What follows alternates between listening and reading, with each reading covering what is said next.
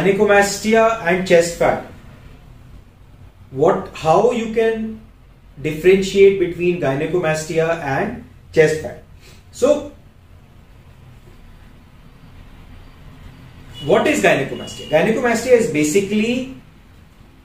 gynemastia female like breast right इसका मतलब अगर आपकी चेस्ट में एनलार्जमेंट है और आपको लगता है कि आपकी चेस्ट की शेप से आप कंफर्टेबल नहीं है। दैट इज़ गायनिकोमास्टिया ना ऐसे में कहीं पे भी ये लिखा नहीं है कि द चेस्ट में फैट है या ग्लैंड है। Still many patients asks how to differentiate between किस तरह फ़र्क बताएँ चेस्ट फैट एंड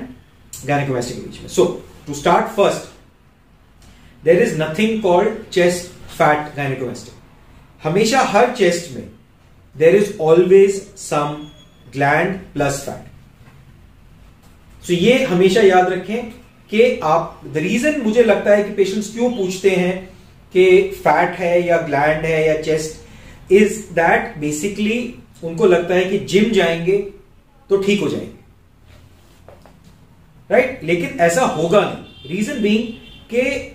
अगर आपकी चेस्ट में ग्लैंड प्लस फैट है तो आप अगर जिम चले भी जाएँगे तो वो फैट थोड़ा बहुत 10, 15, 20 परसेंट कम हो जाएगा। मे बी ग्रेड थ्री की जगह ग्रेड टू हो जाएगा बट अगर सी अंडरस्टैंड जब चेस्ट डेवलप करती है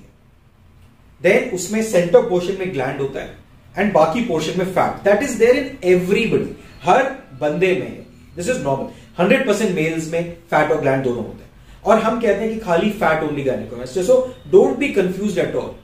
gland और फैट दोनों होंगे। हाँ आप बहुत हैवी वर्कआउट करके थोड़ा बहुत फैट को कम कर सकते हैं बट ग्लैंड पार्ट तो वहीं का वहीं रहेगा। And therefore to remove that gland you have to do a surgery to remove the gland and therefore gynaecomastia the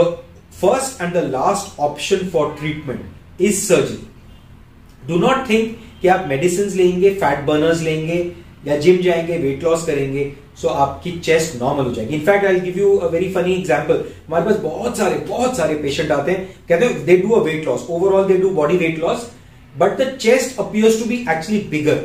reason be जब आप पतले हो जाते हैं when you do weight loss chest में तो ग्लैंड है प्लस फैट और ये फैट बहुत रेजिस्टेंट होता है. ये इतनी आराम से जाता नहीं है. This doesn't disappear and therefore the chest actually appears to be bigger after losing weight and उस टाइम पे पेशेंट्स बहुत फिर इन्फ्लुएंस होते हैं कि अब इसको ना फाइनली हटा दें बिकॉज़ अदरवाइज़ जिम जाने का वो इंसेंटिव खत्म हो जाता है मोटिवेशन खत्म हो जाती है। एंड देयरफॉर उनकी जो बॉडी फिटनेस की motivation comes down and therefore these patients come to us for gynaecomastic treatment so summary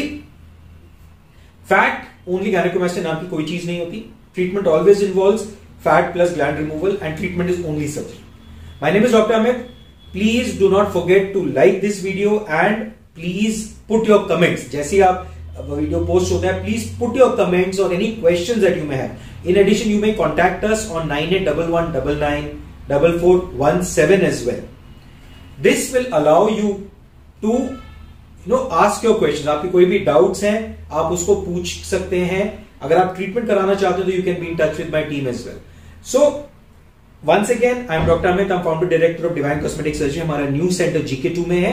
And we have full operation theater facilities available, full backups available, and uh, we are regularly doing gynecomastia treatments, and we are we, we are giving what is called as affordable luxury.